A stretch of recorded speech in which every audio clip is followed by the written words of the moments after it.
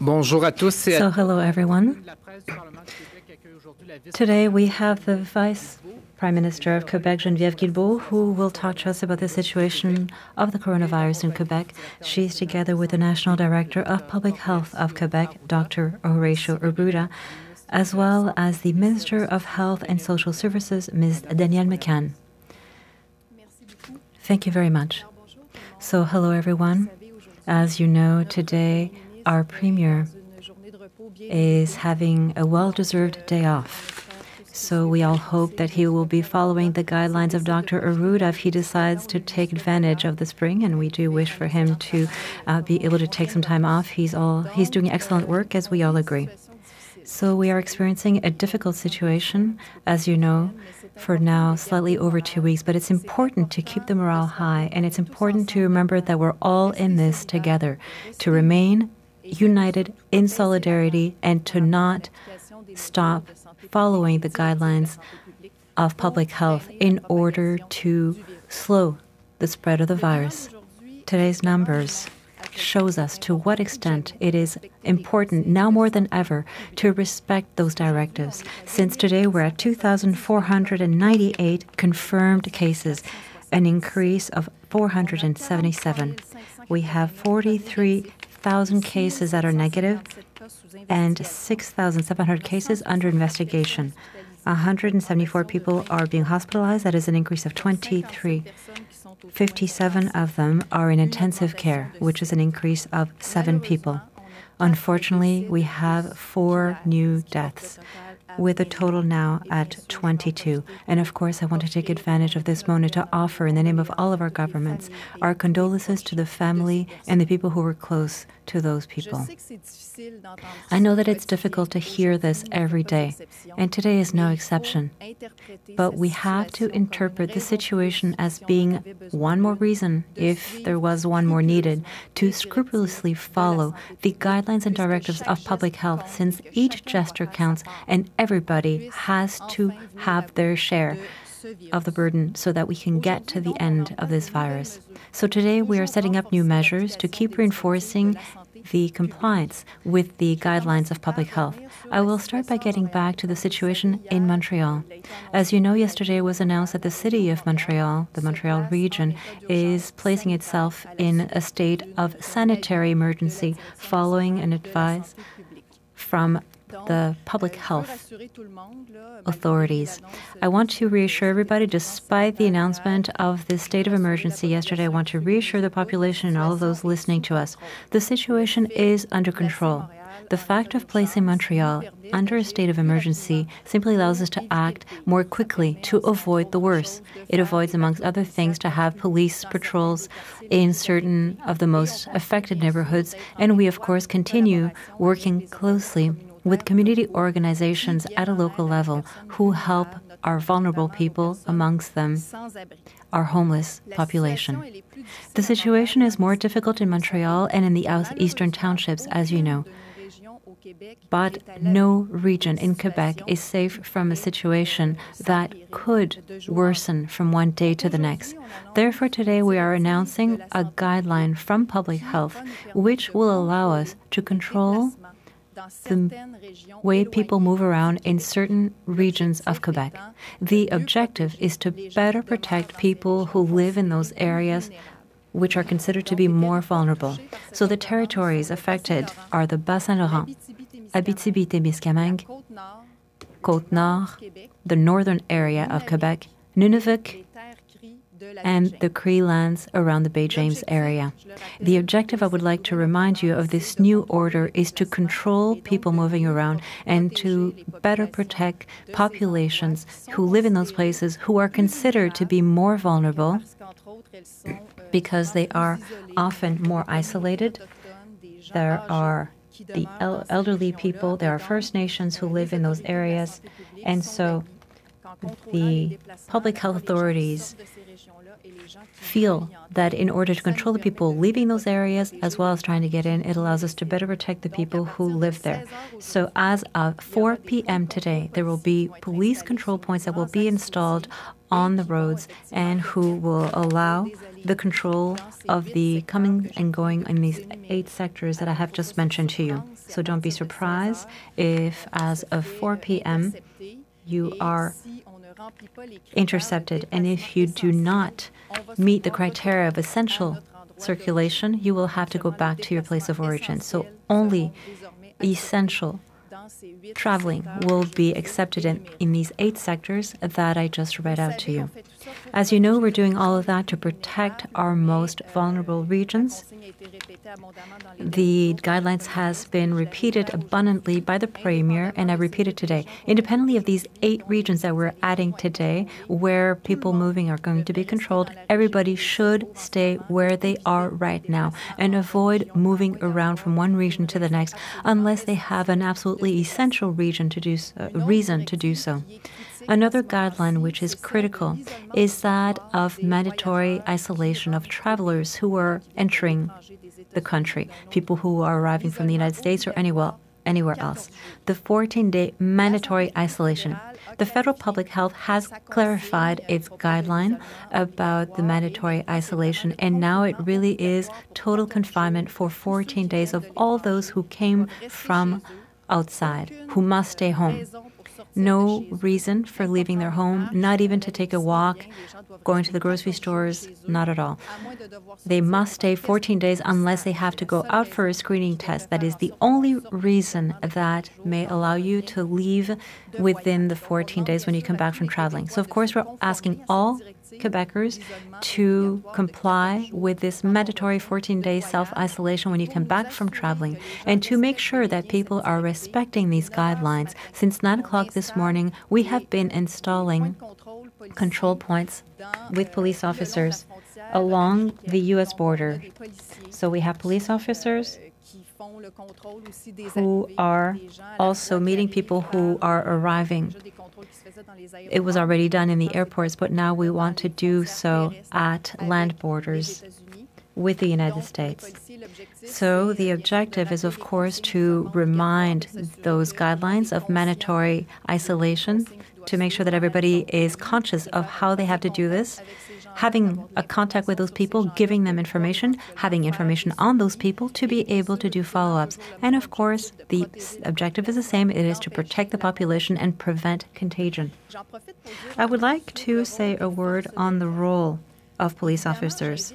Of course, I invite the citizens to remain vigilant and to mention situations that are obviously going against collective safety of our citizens, for example, a gathering in a park, which of course should not take place. We can understand that that will be uh, make people call. But of course, remain prudent. Don't fall into what we could call abusive surveillance with a climate of suspicion between neighbors and co citizens.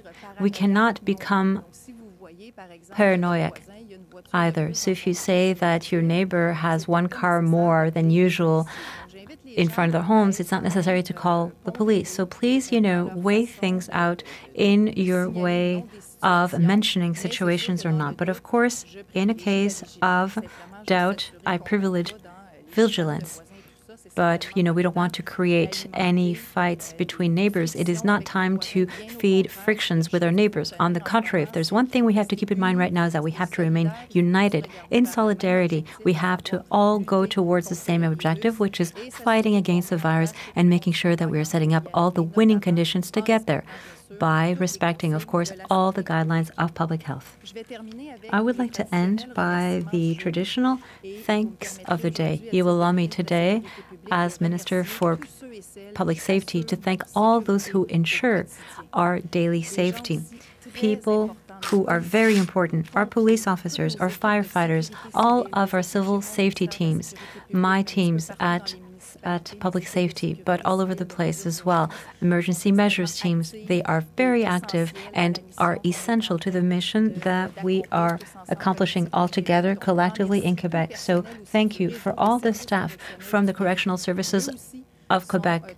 That network is also at the front line with a clientele that is different, but very important in the context. All our private security agents, which are more and more numerous to be sent out all over the place, so that they can also ensure the collective compliance to respect those guidelines. So I want you to know that you are precious to us in these circumstances. Most of you are used to danger in your work, but right now we're all facing a new kind of danger.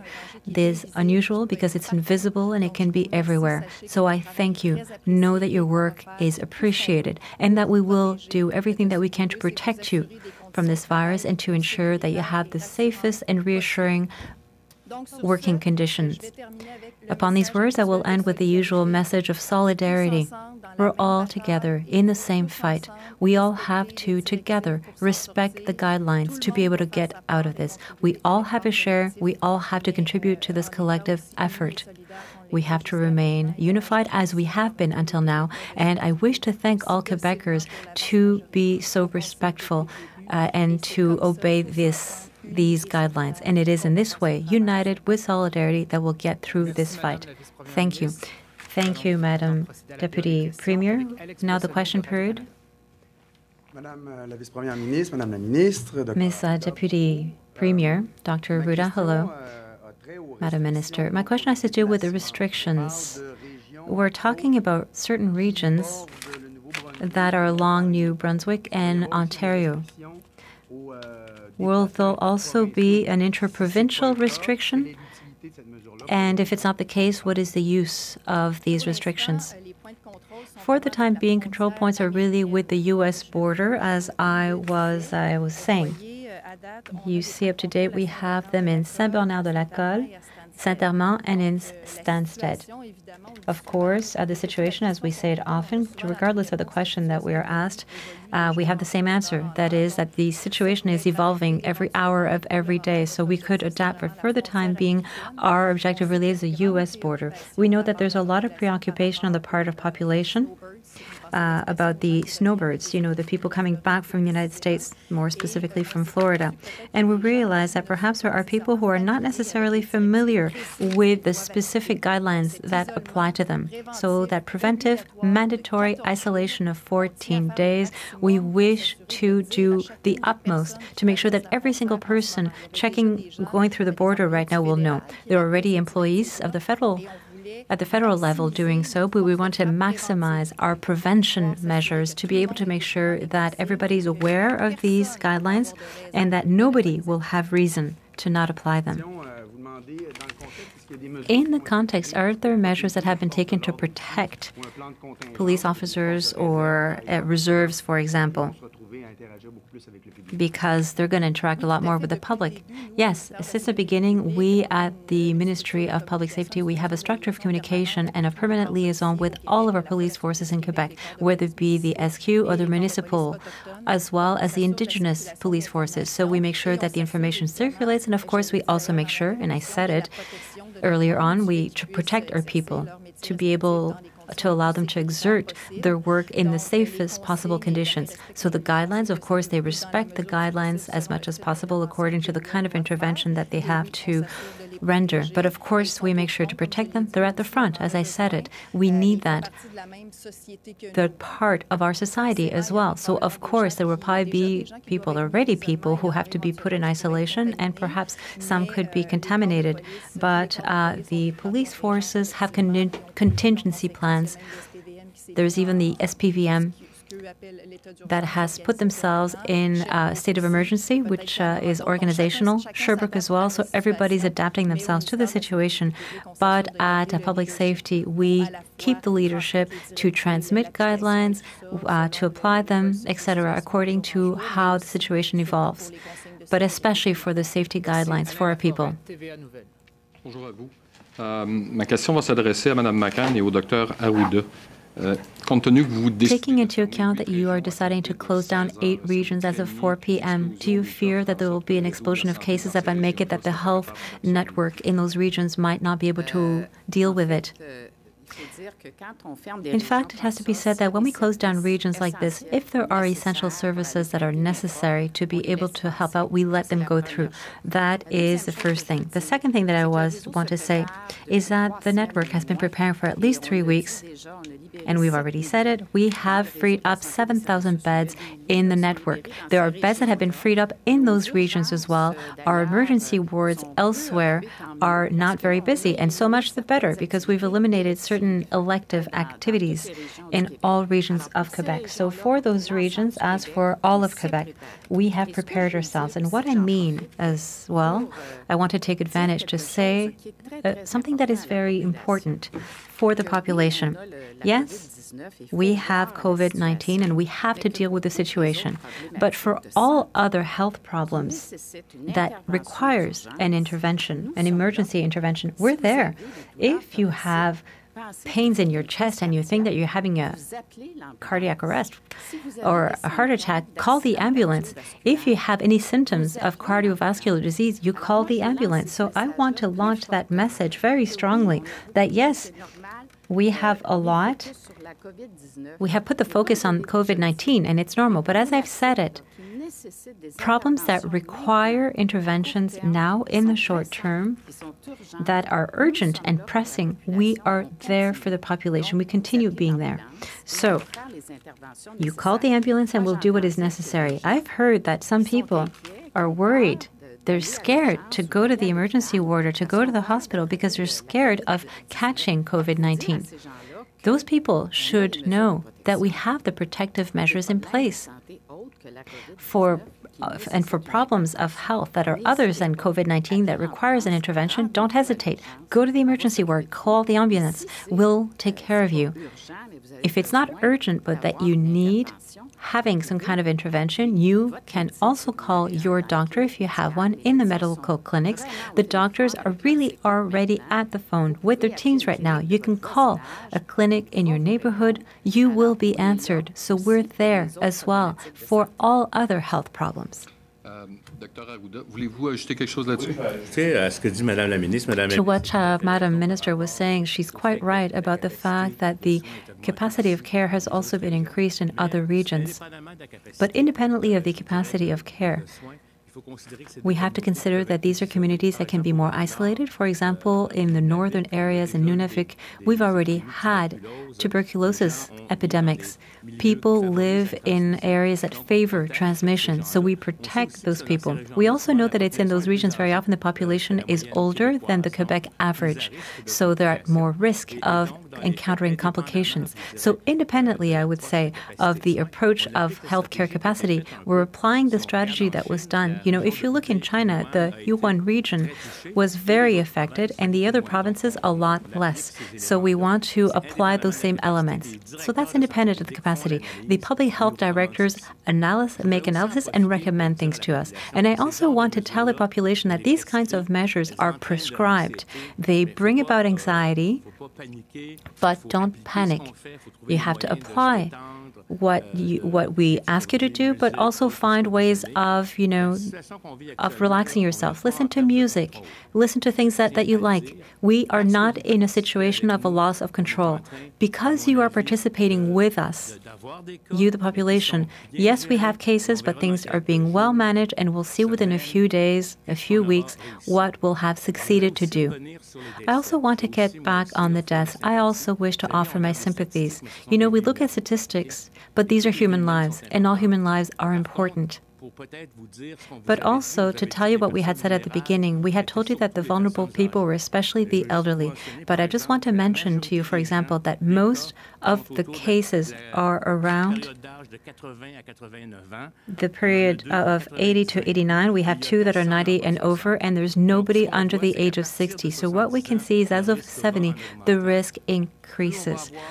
The more data we get, and uh, and I mean, I don't want us to get more data to give you stable statistics, but we just want to let you know that although coronavirus is fatal for those people, and that's why we have very important measures to protect our elderly, most people who will fall ill are going to get cured, a very good proportion. I'm not even going to need to go to the hospital, and some people, they're just going to think they even have a cold.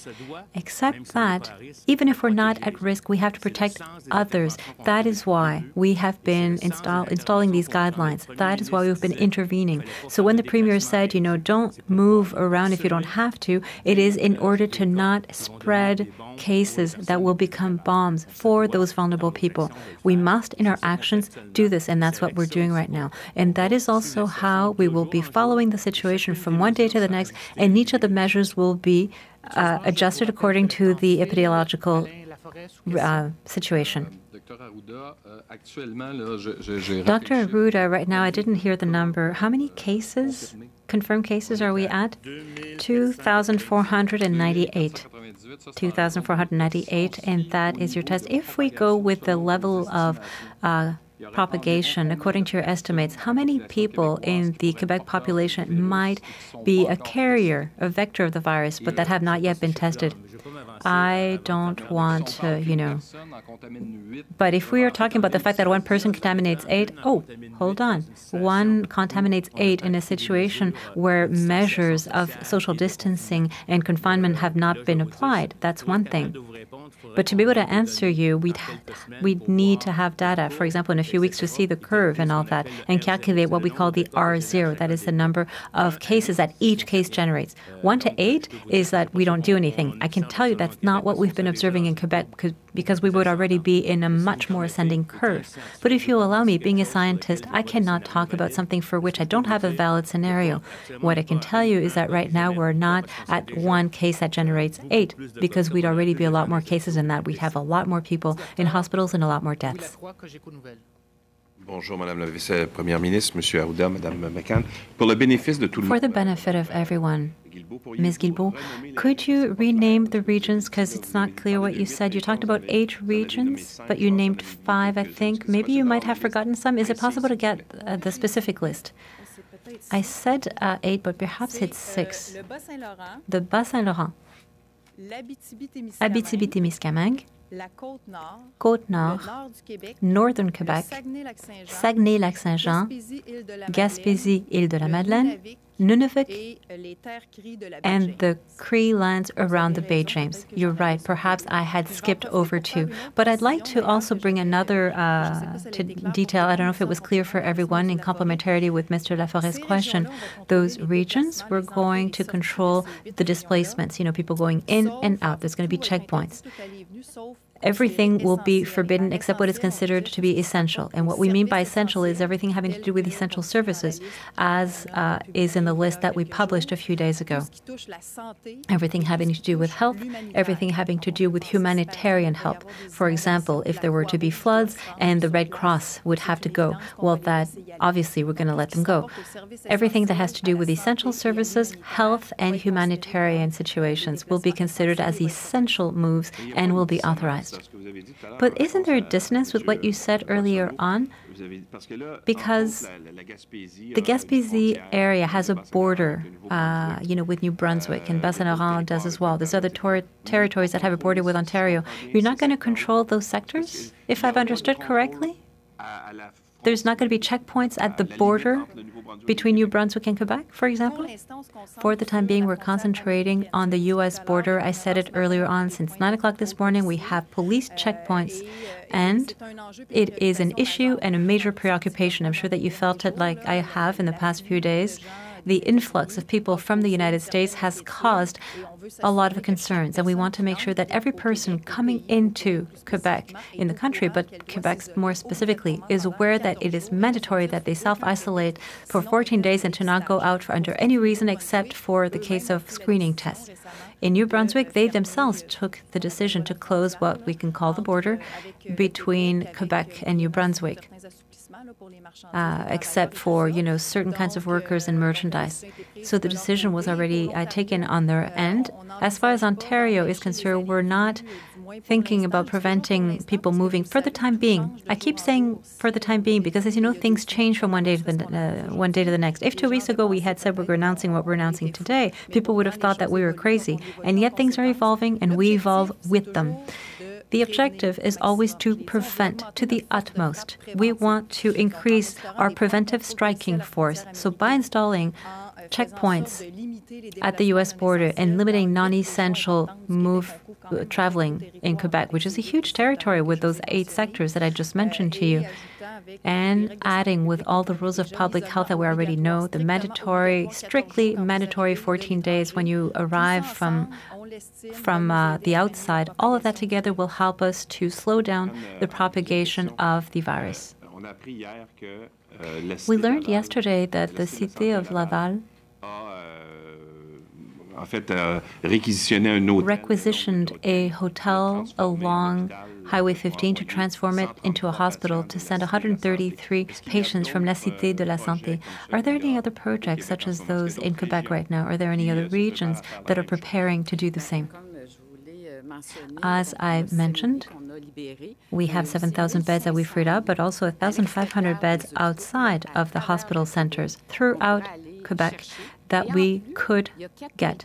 On top of that, there are 4,000 spots in hotels, and perhaps it's even increased, but at least 4,000 spots in hotels that we could go get as well. So, Montreal, for example, we have L'Hôtel Dieu that we are preparing. There's Grace Dart that we are also preparing, and the Notre Dame Hospital. There's a certain ward that was uh, inoccupied and that we will use. So, hotels, yes, certainly at least 4,000 spots. So, you'll probably see in the upcoming days other regions that are going to be announcing that they are going to be working with certain hotels close to their own facilities. Um, in France, there was a very uh, particular phenomena.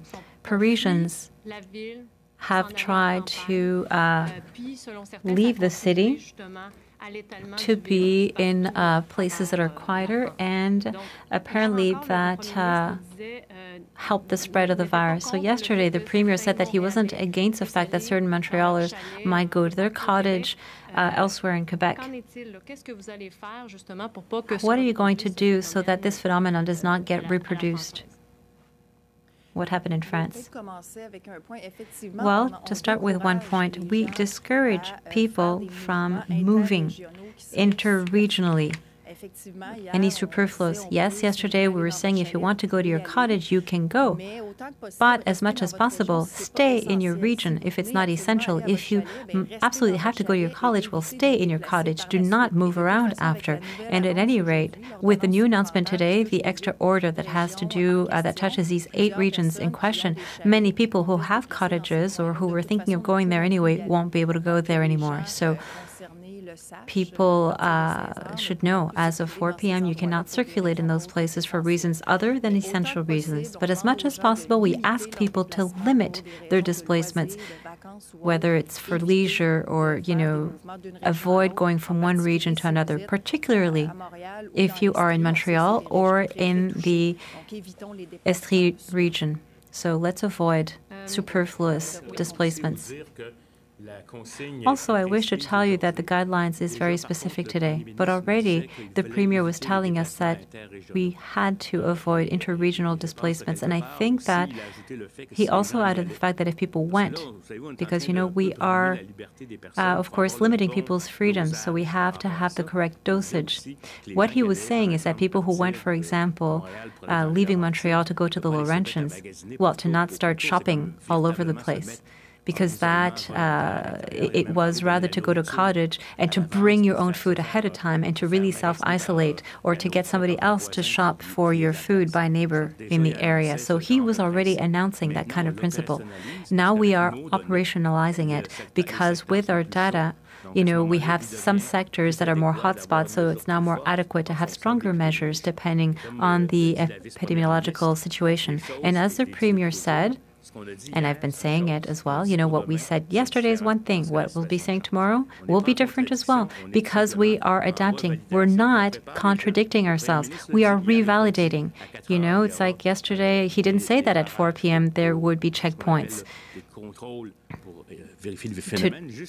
Check whether people could move. And with that perspective and experience of what we can see elsewhere, it's that people leave from that area and they don't know that they're infected. They think in good faith that they're just going to go somewhere and then they become the source that bombards a place. Selon, euh, selon des informations qu'on a des professionnels. According to the information that we have from health professionals, there are maneuvers that are no longer being practiced on patients that have the coronavirus because of the risk of propagation. For example, cardiac massage. What is it really? Patients who are infected, are there maneuvers that are no longer being made? No.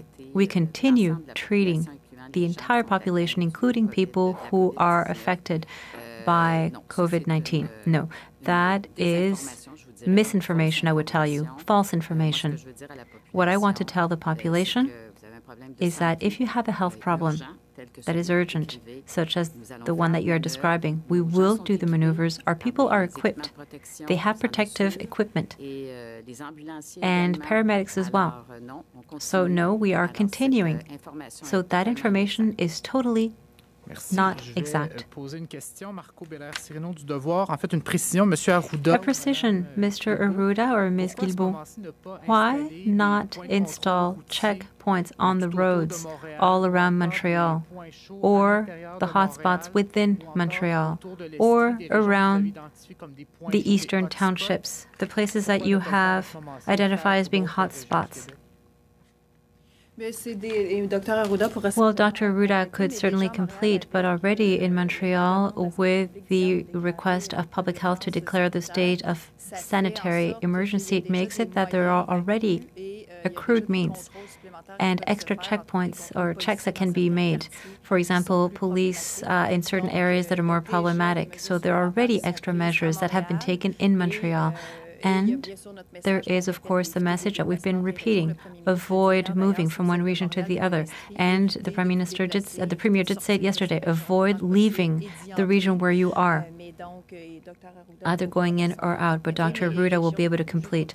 But just to finish, sorry, uh, the regions that we're announcing today, where we are controlling people moving around, it's because they are considered to be more vulnerable for various reasons, and so we are doing this as prevention to protect the people living there. And Dr. Arruda can complete. Well, that's quite what it is, uh, Madam Deputy Premier. What we're doing in the east, the eastern regions and the northern regions, is prevention to avoid that there be a transposition of the concentration of hotspots towards those regions. And together with that, there will be decisions that will be made locally by public health directors based on an order that I have given. That is to say, that right now in Montreal, the city of Montreal, together with the director of public health, the police officers, the partners are going to be having more intense. Uh, activities around the hotspot. It's possible that it will also take place around the eastern townships, whether it be the cities of Granby or Sherbrooke. All of this will continue to be done. So what we're doing now is that we are preventing that this contagion go towards the east or the north, and we control where it already is. So this is an analysis that is um, done every day according to people's behavior and according to the application of guidelines. But they're being reinforced in these places. Maybe uh, an extra detail, Madam Deputy Premier. Up until now in Montreal, what has been said, and I uh, understand that there are extended powers, but uh, what's been said until now only concerns uh, the homeless. And now you're saying, well, yes, there will be police checkpoints in certain areas, but none of this was said publicly up until now, specifically. What I mean by that is, what are the measures being taken in Montreal? What are they? Why are they being taken and where?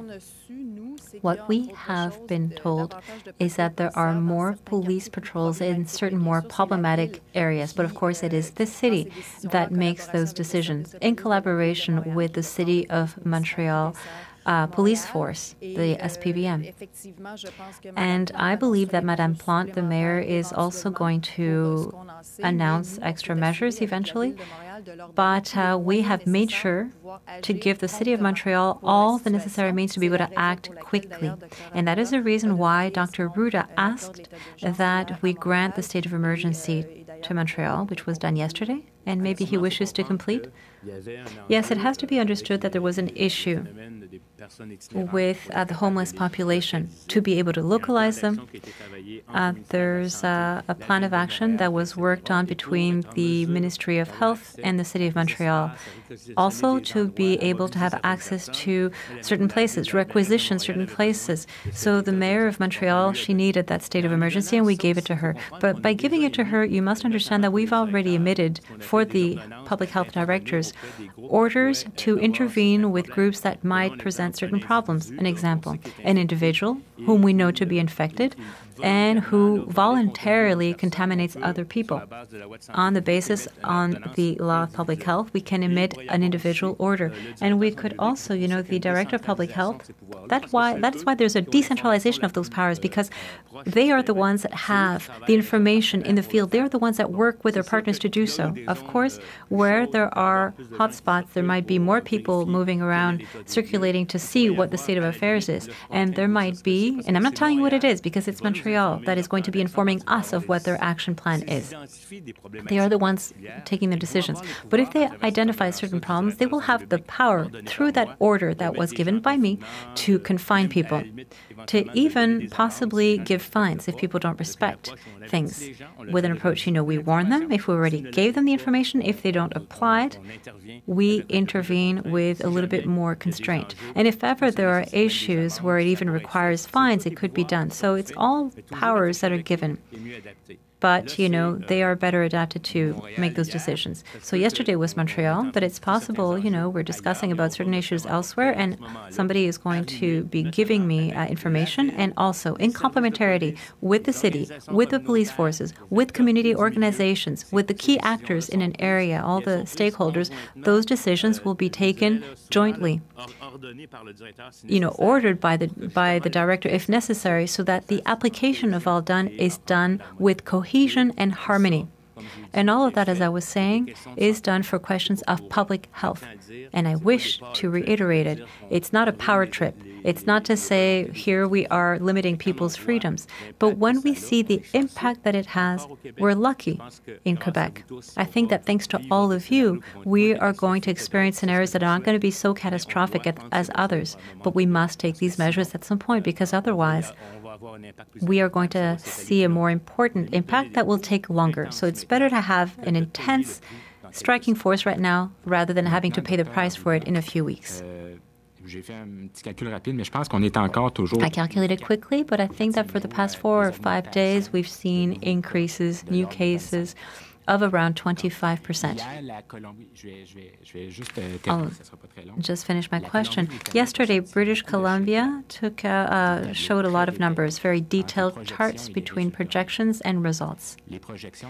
Yesterday's projections, they said there's going to be an increase of 24% per day.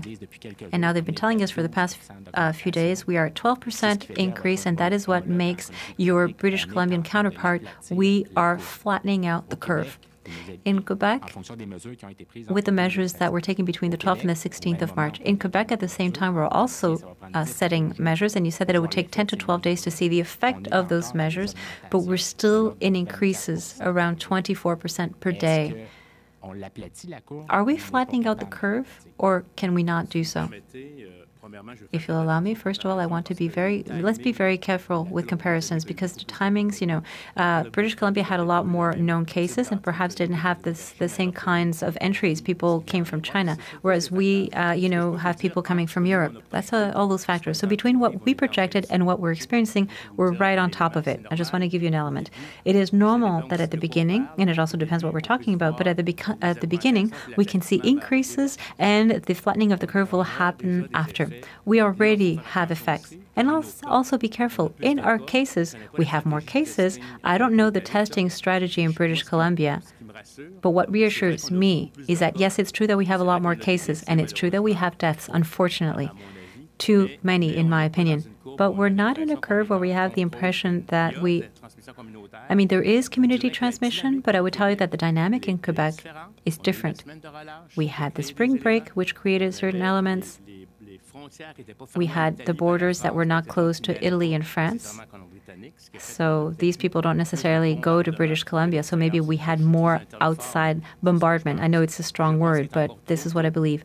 And I believe that it's still too early even if it would be pleasant, you know, to have um, comparisons, but they're not valid scientifically speaking. But I can tell you we're keeping a very close eye on it.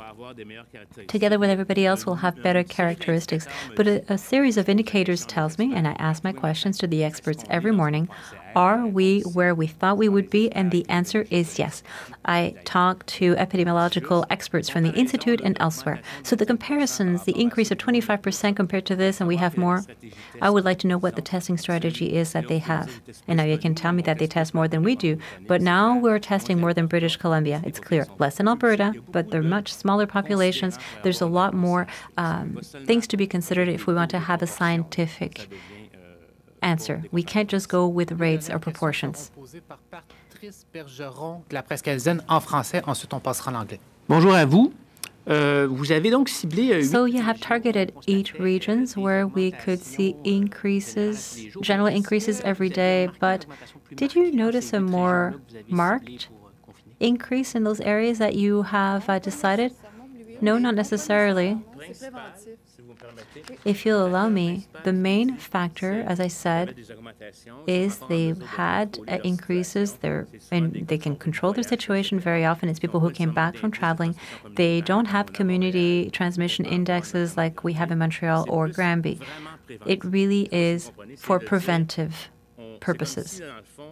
Basically, I'll make a comparison that has nothing to do in terms of numbers, but it's as if Montreal and perhaps a part of the eastern townships was the hotspot like there was in China, and what we're doing is we're closing that down. We decrease, we don't have a total barrier, we're not preventing essential services from moving around, but we are putting a filter to make sure that the importation towards the regions is slowed down. And also in those regions, there are more old, the older people, more risky people, more diabetes, etc. And so you gave the reasons why it would be allowed to circulate, for example, essential services, health, etc. But there will be a lot of uh, cases for which police officers are going to tell citizens that they have to turn around, if I understand. But there are young adults that have parents, for example, in other regions, that uh, want to go grocery shop for them because they can't go out anymore. Are these the kinds of cases where police officers are going to have to decide whether to allow it or not? Well, regardless of the situation, in which police officers or any other uh, police force has to intervene, there's, you know, you have to use common sense. There's always exceptional cases, there's always an analysis that has to be done. But we ask people to avoid moving around in those regions unless they really are in essential services. So the agro food chain, medical services, etc., humanitarian help possibly. If the parents in question, the example that you are giving, can have a friend or another member of the city that lives in the same region can do the groceries for them, because of course, you know, we are giving the message to help out our parents and grandparents. We have to, we want them to remain at home, but they do have to eat. But if other people can help them in the same region, we absolutely have to prioritize those solutions to avoid interregional displacements. This is our preventive striking force. I keep saying that, but that's the idea the preventive strike force at a provincial scale, and that measure is part of it, as many others that we have announced gradually in the past two weeks. And we've been going gradually in the past two weeks. Today, we are at limiting the movings around in those eight sectors. We don't know what uh, is coming up for what's coming up now, but people must understand that we have to apply strict public health measures to limit contagion. It is the only way to be able to get through this. English questions? Bonjour à vous. Um, Madame Guilbault, we're seeing these checkpoints going up in uh, certain regions that you're saying are more vulnerable. And we're seeing sort of an increase in the involvement of police, security, limiting travel between regions. Is there a plan in place to step things up even further? And what might that look like if you need to restrict movements in these hotspots, like in Montreal, in the eastern townships, is there a plan in place? Are you still taking it day by day? What could the next step look like as we start to see more police checkpoints and more surveillance? We have to take it day by day and hour by hour because the situation evolves every day, like as you know. And uh, if uh, if we do those, if we put in place those measures today, we might have to put more in the next few days. But we cannot answer that today. We have to look at the situation uh, every day and make the right decisions regarding the situation uh, the day being. But the important thing for us is to be more uh, offensive, as offensive as possible in a prevention way. That's why we put those uh, checkpoints by police at the border with America and uh, in the, um, to control all going and moving from and in those eight regions. And if you uh, may add, even if we uh, are looking it day by day, that's that's the case, and that's what is needed because things can change, and we cannot say if it's going to be Estrie or which region is going to be that. It's not an improvisation. I just want to make you sure that we are going step by step, but we don't know exactly when the next step is going to be. It's why we have to need an evaluation. But don't think we wake up in the morning and say today it's going to be that and have not thinking, I would say, days and weeks before. Uh, we've got plans, but at the same time, there is so much scenarios that we have to adjust the plans to the reality of the day. And we always are thinking what is going to be the next step. So it's not improvisation, but it's, it's a reevaluation with all the information. Because I want to make sure that don't people think that we decided in the morning, we decided somebody did it and we did that. We know exactly what uh, can be the steps, and we must adjust to the reality. Yesterday, uh, Montreal declared a public health emergency. Uh, we saw some measures, as you mentioned in French, uh, to put up tents for the homeless. Have the thoughts changed on uh, how to isolate the city, how to protect everyone as the number of cases continue to go up? And is there more plans to restrict people's movements in these sort of hotspots? I think that's why we uh, order Montreal to take into control the situation because they are the ones who know what is going on in their hotspots. What are the problems? What are the different communities who, who, who are not observing or, or not? How to intensify, and it, and they will decide if they have to do control, get in, get out of the hotspots. Uh, what are going to be the conditions? Because we cannot also close everybody from the from the world. But if needed, if there is uh, what would, it will depend on what is going to happen in the other parts of Montreal, you know, because there is also cases on those places. Even if there is hotspots in, in some regions, there is cases elsewhere. So all that is going to be taken into account.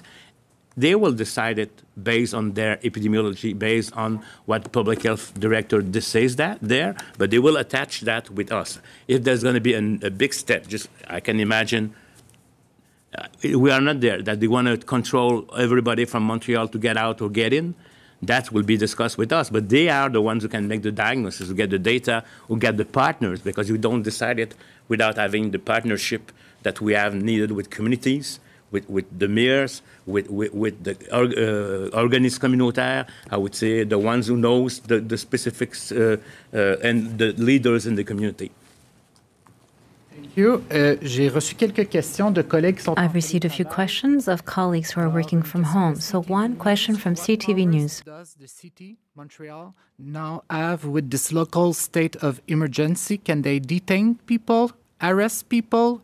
Can they block off certain areas of the city? Yes, they have this power. Uh, their ordinance is good for five days. It's re-evaluated. They all have the power if it's done under, I would say, a public health uh, authority. If there is a, a, risk for the others by the comportment of one person, they can act and even can put somebody in isolation and, and, and, and do that, yes. Question de Raquel Fletcher de Global News, you are restricting access to eight regions. Why not ban inter-regional travel in general? Why not ban travel to and from Montreal? In fact, our Prime Minister, I'm sorry, can I, may I? Our Prime Minister already said that it's not a good idea at all to go from one region to another one. Actually, we are, we are banning, we are not banning, we are making control to make sure that the only people who travel is for essential services, humanitarian and emergencies and health is- issues. That's that's done especially to protect those communities with older people and, and higher risk, and we don't want them to go. And there is also some, uh, I would say, uh, restrictions that are going to be made by by the mayors and the public health of those regions with hotspots that will try to minimize the risk of getting in and getting out. Question de Philippe Authier de De Gazette. Can you tell us more about the recent deaths? Can you tell us what regions they were in? Can you give us an age range? Yes, uh, I want to say my condolences to the families of those 22 deaths.